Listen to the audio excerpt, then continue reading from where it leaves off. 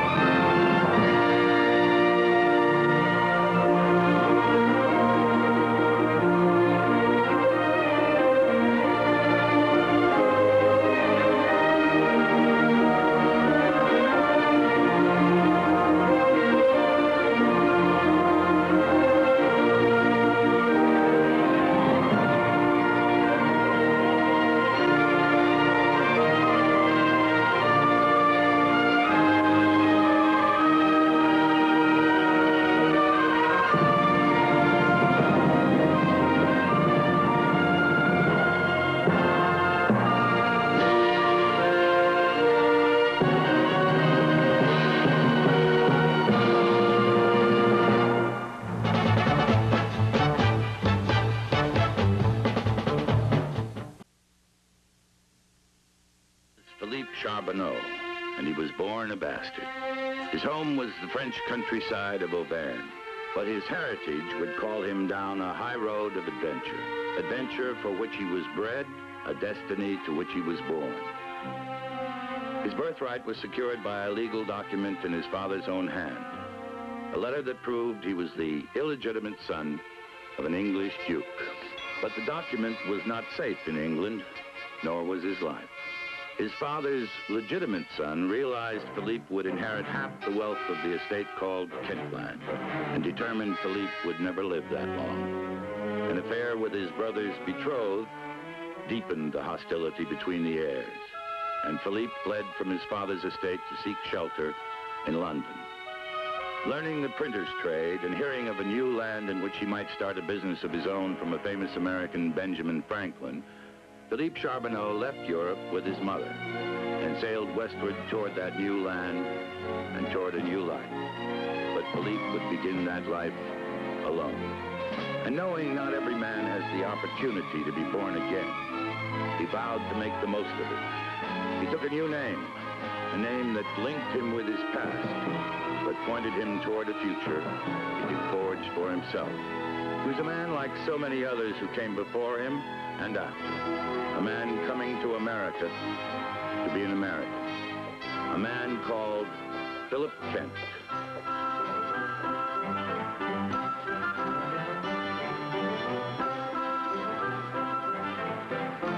Rocks and shoals, eh, lad? Sir? I see you come through in luck. I was just wondering, sir. If he were in the right port. No, which way to go? Port what? Work? Hey, uh, well, Should have thought of that before you shipped, lad. I don't know anybody in town that's looking for help.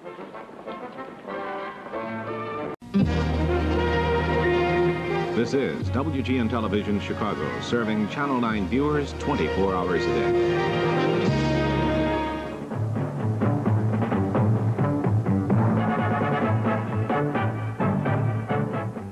Tonight, WGN Television presents the sweeping epic of an amazing family living in the turbulent times that began the American nation. Andrew Stevens, Patricia Neal, Lorne Greene, and William Shatner had an all-star cast in part one of John Jakes' towering bestseller, The Bastard. Most of my life not knowing who I am. But if I fathered a child, that child will never know the doubts that I have known. Why do you always treat me as though I am different from everyone else? Because you are. How, Mama? You plumber, when you bring me his head, bring me his head in a basket. Ahead of you lies the new world, the new life.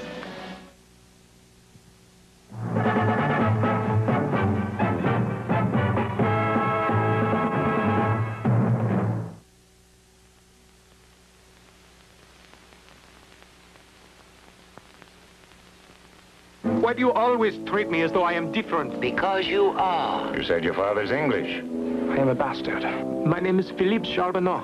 The Marquis de Lafayette. Some deference is due the Prime Minister of England. Well, I do not give a damn who you are. They'll take you for striking a man the Ah, Is it your first time? You have been unbelievably kind to me, sir. I can do no less for a marked man. Here's a present from the man you maimed.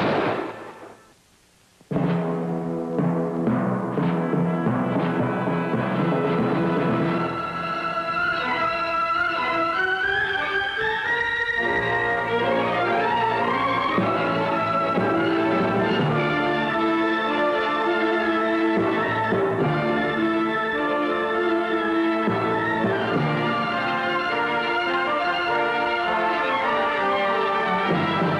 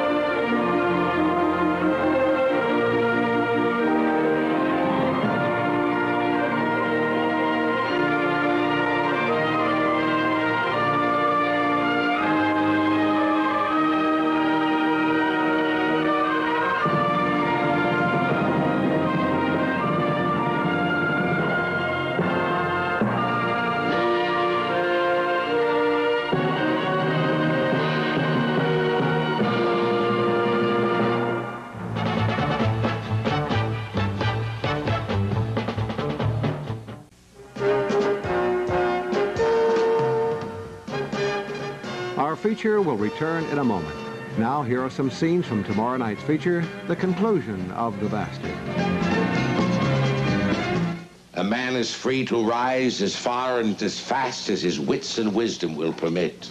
You have been unbelievably kind to me, sir. I can do no less for a marked man. Now look carefully at the next flash. Still want to take up with us Americans? From now on, I am Philip Kent. Aye, Mr. Kent. So be it.